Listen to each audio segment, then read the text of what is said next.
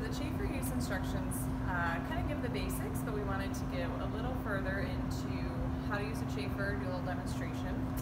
Uh, so as you can see, there's a bunch of different styles. We have these disposable ones, which work uh, pretty well for casual parties, tailgates, uh, and then we have some upscale, fancier versions. Um, and these are just a few examples. Um, and there's some really unique styles out there. So uh, these are the ones we'll work with. First tip is when you're putting water into the chafer, you have the water pan, the bottom one, you're going to want to make sure that you don't pour in too much water, especially if you have a pan that's pretty much the same size as the water pan. Um, you're going to want to do about a half inch um, of water throughout the pan.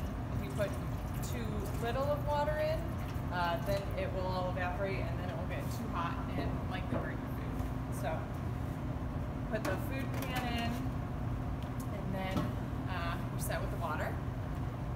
If you don't have a spatula or a can opener to open the sternos, there's a little trick of opening them with themselves.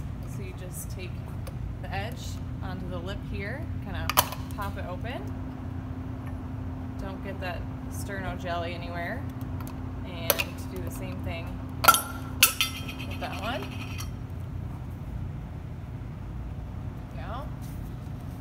So if you open the cans too early, all the alcohol will evaporate, so you don't want to do that. Um, but if you want to have everything set to go, you can just kind of set the lids right on there and take them off right when you're done. can set them in here. Um, these ones have the little hooks. if you're using a chafer and it's a windy day, um, you can, this a lot for tailgates, you can take tin foil and kind of wrap it around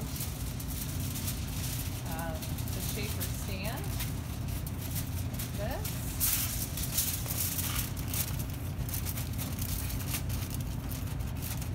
And this kind of keeps the wind out um, and lets the food still be hot.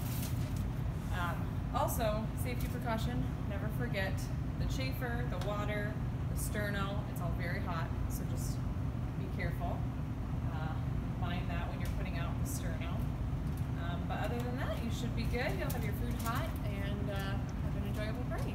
So let Zingerman's Catering know if you have any questions and we'll